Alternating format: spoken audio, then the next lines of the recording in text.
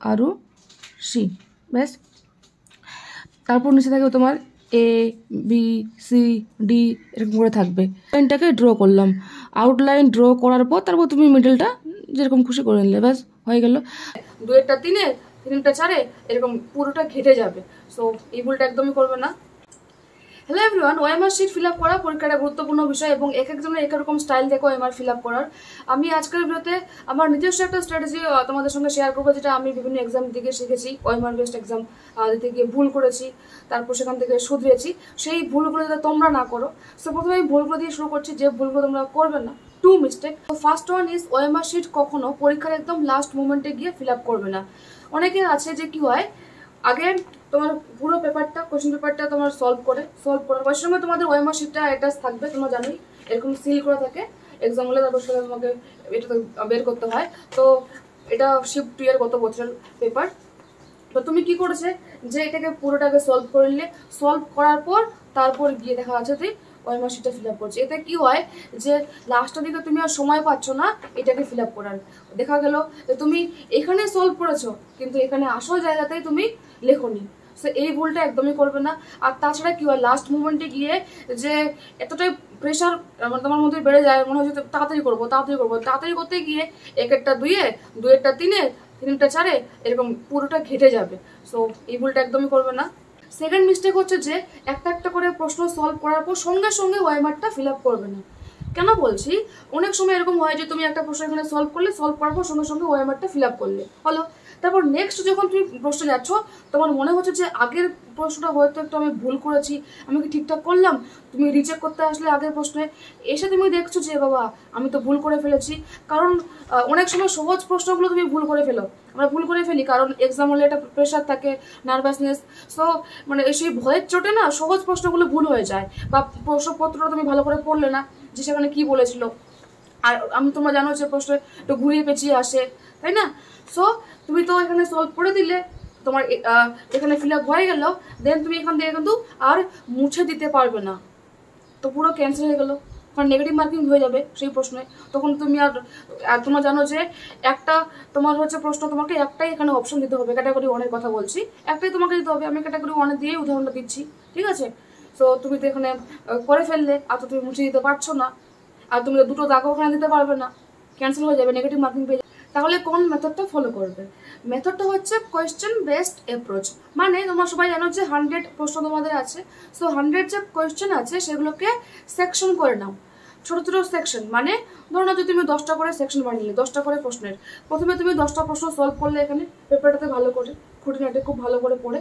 করার পর তারপর তুমি ওএমআর শিটে সেই দশটা প্রশ্ন সলভ করলে। যেমন ধরো না যে জীবন বিজ্ঞান তোমাদের প্রথমে ক্যাটাগরি ওয়ানে তিরিশটা প্রশ্ন আছে। তো তুমি দশটা প্রশ্ন আগে এখানে সলভ করলে ক্যাটাগরি ওয়ানে সলভ হয়ে গেলো। সলভ করার পর তারপর ওএমআরটা ফিল আপ করো। দেন আবার নেক্সট দশটা প্রশ্নদের, আবার নেক্সট দশটা প্রশ্ন। তারপর ক্যাটাগরি টুতে তোমাদের দুই মার্কের দশটা প্রশ্ন আছে। সেই দশটা প্রশ্ন সলভ করো। দেন তুমি ফিজিক্যাল সায়েন্স করো। এইভাবে করে সবগুলো সাবজেক্ট তুমি করতে থাকো। তো তোমাদের তোমার হচ্ছে যে একশোটা প্রশ্ন, তোমার দশটা পাঠ করলেই হয়ে যাবে কমপ্লিট এতে কি হবে? তোমার মাইন্ড এটা রিল্যাক্স পেয়ে যাবে। মানে হলো যে শর্ট ব্রেক প্রত্যেক দশটা প্রশ্নের পর তোমার মধ্যে একটা শর্ট ব্রেক চলে আসবে। এবং সেই শর্ট ব্রেকে হয়, অনেক সময় আমাদের কিছু ফর্মুলা মনে পড়ে যায়। কোনো একটা প্রশ্ন তুমি ধরো নাও যে পুরো আটকে গেছো, মনে পড়ছো না, কিছুতেই মনে পড়ছে না বাট তুমি জানো সেটা। সো ওই রিল্যাক্সেশনে না অনেক সময় আমাদের মাইন্ড ফ্রি থাকে। সো চলে আসে, মনে চলে আসে। তো এটা হচ্ছে বেস্ট অ্যাপ্রোচ যে সাবজেক্টে তুমি স্ট্রং সেই সাবজেক্ট দিয়ে অলওয়েজ শুরু করবে। Biology ninety five percent স্টুডেন্টেরই strong so always start with biology then physical science করো। ফিজিক্যাল সায়েন্স এখন তোমার মেজর সাবজেক্ট তারপর ম্যাথ আছে আর ইংলিশ আছে। ম্যাথ আর ইংলিশের মধ্যে তোমার যেটা বেশি সহজ মনে হয় বা তুমি বেশি স্ট্রং সেই সাবজেক্টটা আগে করো। অলওয়েজ যে প্রশ্নগুলো তুমি পারবে সেগুলোকে আগে করবে, কারণ টাইম ম্যানেজমেন্টের একটা ব্যাপার আছে। নব্বই মিনিটে তোমাকে একশোটা প্রশ্ন সলভ করতে হবে। এটা কিন্তু মুখের মানে খুব সহজ কথা নয়। আগে থেকে তোমাকে multiple times mock test attempt করতে হবে প্র্যাকটিস করতে হবে, তাহলে গিয়ে তোমার এই স্পিডটা আসবে। কারণ এই বছর দেখা গেছে যে জেন পাস ইউজিতে অনেক স্টুডেন্ট টাইম পায়নি। এসে বলেছে আমাকে, আমার স্টুডেন্ট ছিল যে ম্যাম টাইম পাইনি সো টাইম ম্যানেজমেন্টটা খুব ইম্পর্টেন্ট আর আমি একটা কাজ করতাম, আমার সময় সেটা হলো যে আমি বক্স করতাম আনএটেম প্রশ্নগুলো। যে কি প্রশ্নপত্র তো আমরা সব প্রশ্ন সলভ করতে পারি না, তাই না? কিছু কিছু প্রশ্ন আমাদের আনএটেম থেকে যায়, যেটা মনে হচ্ছে যে পরে করব। সো আমরা পরে করব বলে রেখে দিই। সো আমরা জাস্ট অনেক সময় কী করি জাস্ট প্রশ্নটাতে এভাবে গোল করে দিই, ঠিক আছে? এই জায়গাটাতে গোল করে দিই বাট আমি কখনো গোল করতাম না। কারণ এর আগে হয়েছে যে আমি গোল করেছি, কিন্তু আমি দেখা গেছে যে যেটা প্রশ্ন পেরেছি সেটা তো গোল আছে আমার, আর যেটা পারিনি সেটা তো গোল আছে। সো একটু গুলিয়ে যায়। আর অনেকগুলো প্রশ্ন তোমাদের আগের বছর ছিল, পঁয়ষট্টি প্রশ্ন, পঁয়ষট্টিটা। আর এই বছর আছে তোমার একশোটা প্রশ্ন। সো এতগুলো প্রশ্ন, এবার তুমি পুরোটা সলভ করার পর গুলিয়ে ফেলবে যে, আর অনেকগুলো তোমার পেজ দাঁড়াবে। এতগুলো পেজ তাই জন্য কি করবে যে প্রশ্ন তুমি পাচ্ছ না, তুমি বক্স করতে পারো, আমি করতাম, যে হ্যাঁ আমি এটা পেলাম না। যেমন দেখো, এভাবে করে বক্স করতাম তো এটা আমার চোখে পড়তো যে হ্যাঁ আমি এই প্রশ্নটা পারিনি। পুরো হাইলাইট থাকতো। আমাকে এক্সট্রা করে বেশ অ্যাটেনশন পে করতে হতো না যে আমি কোন প্রশ্নটা পারিনি। আমি জাস্ট দেখতাম বক্স করা আছে, আমি এটা পারিনি। সেটা আমাকে অনেকটা হেল্প করেছে। ক্যালকুলেটারও এলাও করবে না। এই যে প্রশ্নপত্রটা, ঠিক আছে, এর পেছনে একটু হালকা মতো রাফ থাকবে। এর পেছনে তোমার হালকা মতো একটু একটা পেজ ফাঁকা থাকবে, ঠিক আছে? এরকম রাফ দেখো যেখানে ছিল আগের বছর। সো এটা রাফ করার জন্য ছিল রাফ করা আছে। সো এটা তোমার রাফ করার জন্য দেবে। এখানে তোমাকে রাফ করতে হবে। আর ওয়াইমার শিটটা তুমি প্রশ্নপত্রের উপর রেখে এইভাবে করে করবে, ঠিক আছে? তোমাকে তো বোর্ড নিয়ে যেতে দেবে না, ঠিক আছে? এমনি তোমাকে বাইরে থেকে কোনো বোর্ড যেতে দেবে না জাস্ট বেঞ্চের উপর। সো এই যে প্রশ্নপত্রটা যথেষ্ট মোটা হবে, তোমার হান্ড্রেড প্রশ্ন মোটা হবে এটা, তার উপর রেখে তুমি করবে ওই শিটটা পাবে, তখন অবশ্যই দেখে নেবে যে কোথাও আছে কিনা, ঠিকঠাক আছে কিনা, ঠিক আছে? তো সব কিছু দেখে শুনে, তো অ্যাট ফার্স্ট তোমাকে কী করতে হবে? ক্যান্ডিডেটস নেম এখানে তোমার নাম লিখতে হবে, যেমন আমার নাম নূরে আরুষি তো আমি এখানে কী করব? প্রথমে নূরে লিখব দেন একটা বক্স ফাঁকা রেখে আরুষি লিখব। এবার যদি কারও তোমার হলো যে তিনটে থাকে, যেমন প্রফুল্ল চন্দ্র রায়, তাহলে সে কী করবে? আগে প্রফুল্ল লিখলো, তারপর একটা বক্স রেখে ফাঁকা রেখে তারপর চন্দ্র লিখবে দেন রয় লিখবে, ঠিক আছে? অ্যান্ড দেন এই যে ওয়েমার শিট একটা এইমসের একটা ওয়েমার শিট আমি জাস্ট সেম্পল হিসেবে দেখাচ্ছি। আমরা যতদূর জানি যে এন এম জেনুয়ের ক্ষেত্রে তোমাদের নামের জন্য এই গ্যাপগুলো ফিল করতে হয় মানে বাবলসগুলোকে ফিল করতে হয়। মানে আমি যেখানে ধরুন নুরে লিখি, ঠিক আছে? N U R E obviously তোমাকে ব্লক লেটারে লিখতে হবে। তো নুরে লিখলাম দেন একটা স্পেস রেখে লিখলাম আরু সি ঠিক আছে? আরু সি ব্যাস।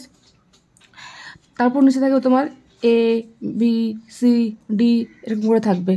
সো এনের নিচে আমি কি করব? যে একদম এন থাকবে যেখানে, সেই জায়গাটাতে আমি ফিল করব। ঠিক আছে? এবার কী করে, কীভাবে ফিল করবে সেটাও বলে দিচ্ছি। তো এটা হলো দেন এডমিট কার্ডে রোল নাম্বারটা আছে যে, সেই রোল নাম্বারটা এখানে লিখবে। ধরুন আপনার রোল নাম্বার হচ্ছে এক, দুই, তিন, চার, পাঁচ, ছয়, সাত, আট। তাহলে কি করবে? এখানে যে ওয়ান আছে, ঠিক আছে, সেই ওয়ানে সার্কেল করলে, আগে। আর সার্কেলটা কীভাবে করবে দেখো, আগে তুমি আউটলাইনটা ড্র করবে যেমন টু আছে, তো কী করলাম আমি আগে? আউটলাইনটাকে ড্র করলাম। আউটলাইন ড্র করার পর তারপর তুমি মিডলটা যেরকম খুশি করে নিলে, ব্যাস, হয়ে গেল। সো দেখবে কারেক্টলি অ্যান্ড তুমি যাতে সেটাকে কুইকলি করো। তবে হ্যাঁ যখন তুমি এই পার্সোনাল ডিটেলসগুলো ফিল আপ করবে, তখন খুব তাড়াতাড়ি করে করবে না। একদম ভেবে চিনতে মনোযোগ দিয়ে করবে যাতে কোনো ভুল না হয়। কারণ একবার যদি ভুল হয়ে যায়, তোমাকে কিন্তু আর সেকেন্ড চান্স দেবে না। তোমাকে কি কিন্তু আর ওই মার্কশিট দেবে না। পরীক্ষা তোমার বাতিল পর্যন্ত হতে পারে। তাই রোল নাম্বার নিজের নাম, এই সমস্ত লেখার ক্ষেত্রে তুমি খুবই সচেতন থাকবে। সচেতন হয়ে সেগুলোকে ফিল আপ করবে। তারপর তোমাদের কোয়েশ্চেন এটা থাকবে বুকলেট নাম্বার সেই বুকলেট নাম্বারটা এখানে লিখবে। সেটা তোমার পেপারেই থাকবে, ঠিক আছে? আর বুকলেট নাম্বারটা যদি না বুঝতে পারো, সেখানে যে তোমাদের স্যার থাকবে এক্সাম হলে সেই স্যার নিশ্চয়ই তোমাদেরকে বলে দেবে। তো এখানে বুকলেট নাম্বারটা দেখে সেই বাবলসগুলোকে ফিল আপ করবে। দেন তোমাদের মেইন জায়গায় আসে যে এই যে জায়গাটা আছে, এই জায়গাটা কীভাবে ফিল আপ করবে, প্রশ্নগুলো। সো আমি যেহেতু এটা জাস্ট নেট থেকে ডাউনলোড করা, তো এখানে তোমাদের হচ্ছে এনএম জেনএমের যে প্রপার ওয়েতে সেভাবে করা নেই। আমাদের বইতে ছিল, আমি যেমন তোমার প্রথমে কী থাকবে? Life life science category one থাকবে, ঠিক আছে? ক্যাটাগরি ওয়ান সলভ করলে, তারপর তোমার কী থাকবে? লাইফ সায়েন্স ক্যাটাগরি টু তারপর ফিজিক্যাল সায়েন্স ক্যাটাগরি ওয়ান তারপর ফিজিক্যাল সায়েন্স ক্যাটাগরি টু তারপর ইংলিশ দেন ম্যাথামেটিক্স ঠিক আছে? এইভাবে করে তোমার থাকবে। দেন তোমার থাকবে লজিক্যাল রিজনিং এখানে জিকেটা ওখানে দেওয়া নেই নাকি? জিকেটা দিকেছিল কি? যাকে তো এবার লাইফ সায়েন্স যখন ক্যাটাগরি ওয়ান তুমি সলভ করবে সো ধরো যে এক নাম্বার প্রশ্নের উত্তর কী হবে? এ হবে। ঠিক আছে অপশন এ সো আউটলাইনটা ড্র করলাম অ্যান্ড দেন মাঝেরটা গোল করলাম। সো তোমরা কি করবে? এরকম একটা স্যাম্পল ওএমআর শিট নেট থেকে ডাউনলোড করতে পারো। ডাউনলোড করে সেটাকে তুমি বাড়িতে প্র্যাকটিস করো। আজকে, কালকে, যে কটা দিন তোমার হাতে সময় আছে, এই রেগুলার তুমি প্র্যাকটিস করো। তাহলে তোমার স্পিডটা বাড়বে। তাহলে একদম তুমি ফ্রেশ না হবে না, ঠিক আছে? অনেকে তুমি পুরো ফ্রেশার হয়ে যায়। সো আগে থেকে তুমি করে গেলে তোমার একটা এক্সপিরিয়েন্স থাকবে যে হ্যাঁ আমি তো করেছি তা কনফিডেন্স তো থাকবে। এই ওয়েমার শিটে কোনো দাগ টাগ কিছু দেবে না, ঠিক আছে? এগুলো তো রাফ টাফ কিছু করবে না একদম, এটাকে ভালো করে রাখবে। এই আশেপাশে কিছু লিখবে না, এখানে তোমার ক্যান্ডিডেটসের সিগনেচার দিতে হবে। তো ক্যান্ডিডেটসের সিগনেচার দেবে। এখানে তোমাদের যে ইনভিজিলেটার থাকবে, সে সিগনেচার করবে। আর সম্ভবত যতদূর জানি যে ডাব্লিউবি জেইবির এক্সামে তোমাদের যে সেন্টারটা আছে এক্সাম সেন্টার সেই এক্সাম সেন্টারটাও লিখতে হয়। এখানে কথাটা লেখা থাকবে হয়তো এক্সাম সেন্টার তো এক্সাম সেন্টারটা তোমাকে খুব ভালোভাবে লিখতে হবে। So all the best guys এইভাবে করে করবে। আর বাকি যে পয়েন্টগুলো বললাম, যে কীভাবে ওয়েমার শিটটা ফিল আপ করবে, সেই পয়েন্টগুলো অবশ্যই মাথায় রেখো। ঠিক আছে?